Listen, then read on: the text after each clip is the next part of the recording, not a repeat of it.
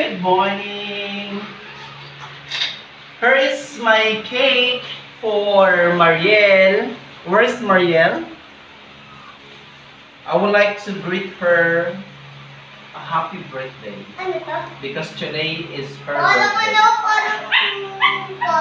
Yeah, it's, you know, a cake, a chocolate cake. Alright, bye-bye. And of course, this one is, ay, this one is different, you know that? Ano, I have here, you know, worth 800 of alimangong buhay. Oh my goodness, bagong from ano yan, fresh from Bataan. This one is alimango. So be careful kasi pwede ka kagatin ng alimango. Still alive. Alimango still alive. Okay? Daddy, buhay ba yan? Yeah. Te? Parang Yeah. hindi naman yung buhay. Yun yung ulam natin ngayon. Alimango. Nangangagat yan. Ito naman. Look. Ang laki Lalo magalaw sa Yes. cute niya, no? Hmm. Huwag mong ano yun kasi kakagatin ka niya. Okay. You want this? No?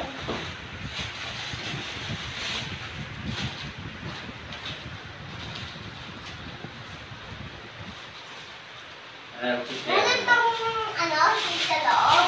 Chocolate. Nasaan ba si Mariel? Naligo pa. Si Marimar. Nagpapaliligo sa si Mariel. Up, sinika siya mami.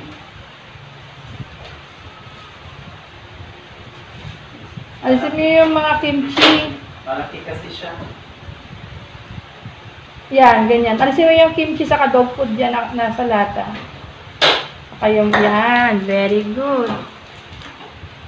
Gusto naman yan na yan i-serve pagkaluto.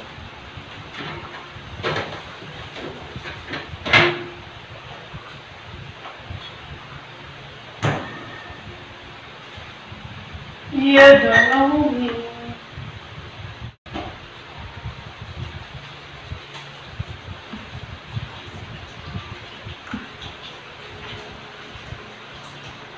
Sa kawali. They can have them chocolate. Hindi na, magkakasakit ka. Yes. Afraid? Because this alimango will yan. Ay! Oh my goodness. Ay! Pwede mo puputulin ng katawan. Napakabad naman. Ilagay mo lang sa kawali. Ha? Wag! Daddy! Ah, grabe naman. So ilalagay lang natin pala siya guys sa kawali. Yes! Kasi, tas tatakpan siguro natin. to. Patanggalin mo Kasi muna yung naka- plastic. Guntingin mo naka- yung plastic. Nakahaano siya eh. Naka, natanggal kasi siya eh. Oh. Tapos, Ngayon lang siya bumili ng buhay. Lagi kasi patay na Oo. bibili namin. Kaya nga, I don't know how to manage this, pero I can be able to make it. Siguro, kailangan muna natin siya babaran ng tubig para mag-calm down siya. Daddy, sinoksak mo yung crab. Ganun talaga. At the end of the day, these crabs will die. O, kakainin naman natin yan siya eh. Siguro kailangan mo nang hugasan. Or hindi na. Ayan, ayan. Yehey! Tapos, Ba't naman sinaksak mo yung crab? yan! O, isasalang na natin yan. So. Tingin ka dito. Yay! This is very uh, alive.